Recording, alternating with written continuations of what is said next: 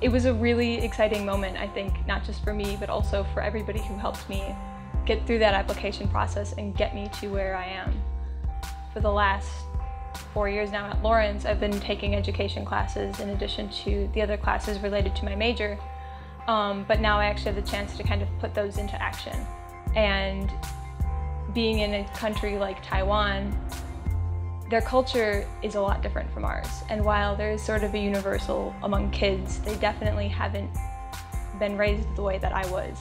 So I've sort of learned to understand that every culture kind of exists in its own its own place in its own time and its own history and you can't really compare it up against you know your own cultural experiences or your own history